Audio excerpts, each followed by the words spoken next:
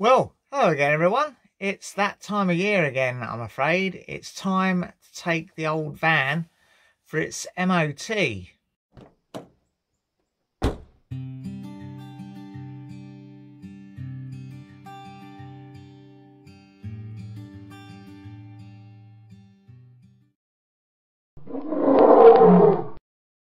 Now, as far as I know, everything's working. I would normally have liked to have a chance to check everything over, but just haven't had the time with uh, all the other stuff going on. So uh, we're going to book it in, take it, and uh, just see what happens. not aware of any issues. As I said in, I think, the last video, there was a advisory last time on surface corrosion on the front discs, so that may come up. We'll see. We'll see. But before I take it tomorrow, I've come out here and what I usually do before each MOT is just pop the lap belts out from under the seat so they're easily accessible and the tester can see they're there.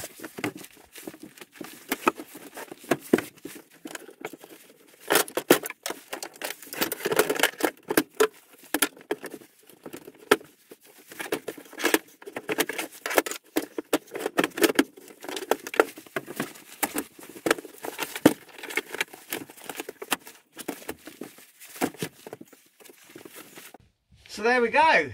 We'll uh, get up in the morning and take her to the test centre.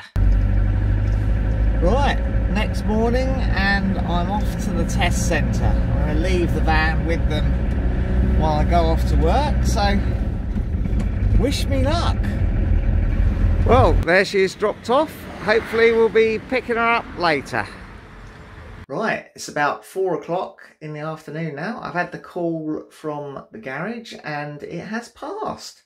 Uh, there's a few advisories and I think we might have some work to do throughout the year to uh, keep it tip top, but it has passed. So uh, let's go and collect it.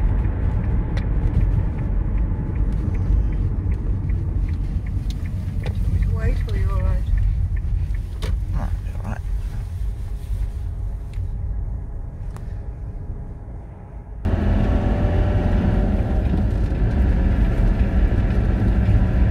Well, we're back home now.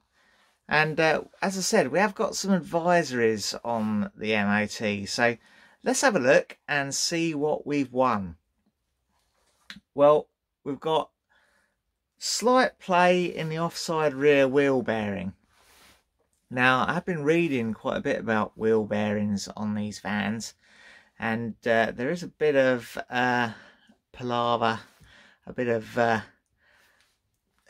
know-how, I think, in replacing them. There's a bit of discussion on the best way to do it on the Talbot Owners Club forum, so that might be something we have to explore. But also, I've been reading lots of people get these comments for year on year on their MOTs. So that may not be something we have to address urgently. Uh, we got slight play on the front lower offside uh, ball joint, suspension arm ball joint. That, I suppose, is something we should be able to deal with fairly easily. That might be uh, something to address.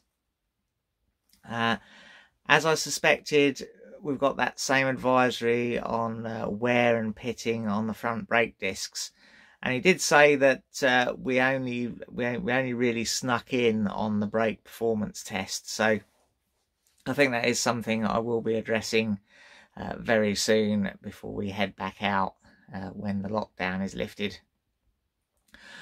Obviously the van has stood unused for the greater part of the year really and uh, yeah the brake disc will rust up when she's standing. Do take her try and take her for the occasional run every sort of two or three weeks but uh, that's probably not enough to keep the uh, the discs bright as it were.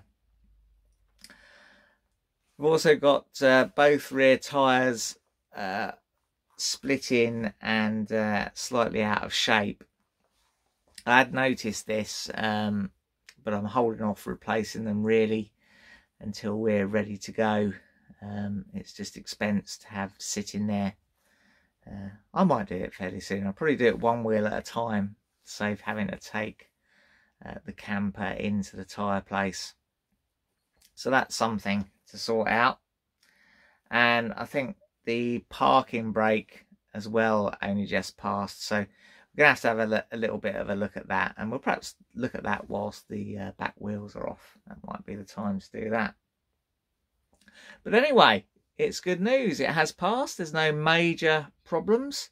So we should be set for another year of motorhoming. We just need uh, someone to blow the whistle and say it's okay to get back out there so uh, fingers crossed for the old vaccination program and such fantastic well, that's all for now. If you enjoyed it, press like. Subscribe if you want to see some more. And ring the bell to be notified when we upload something new.